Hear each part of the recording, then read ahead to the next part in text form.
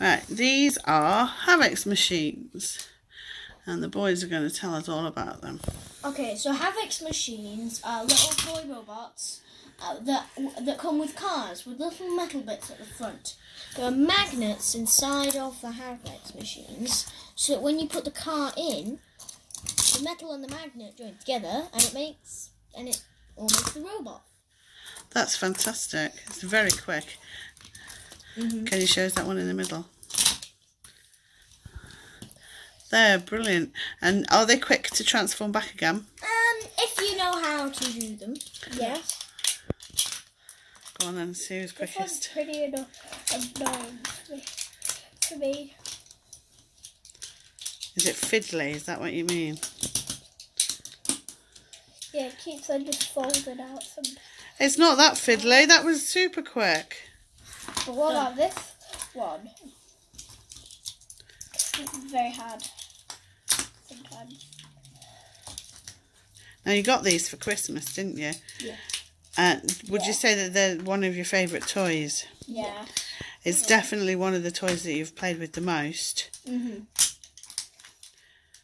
No. No. No. I- Let's have a little look at the cars while you do that. that I've played with the So these are the little cars that have a magnet at the front that transform. They're very sweet actually, those little cars.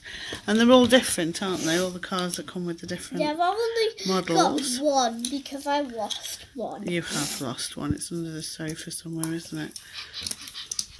Wow, this actually fits. Of course it fits. The outfit. How are you done? Is that your chicken walker? So, what do you like best about Havex machines? About the roof, the way you can, the way you, the way they go They're like into a robots. small cube shape, and then when you put the car in, it instantly changes. I think that's quite clever, isn't it? My favourite of all these is definitely the chicken walker. My favourite is the chicken walker. And that's all. What and about this this is my one? second favourite, third favourite, fourth favourite. Up and everything clips into place. If you don't have this um, clipped, then everything will not fold into place. Right, so that's the trick, is it? Clip the ramp into place first. Because they've all got a ramp, haven't they? Yeah, And this one You it's do it with this one, look. with this one it's especially hard. So you need to you, you clip this, you clip it onto the legs. The ramp isn't on, clipped onto the legs. Okay, that's obvious.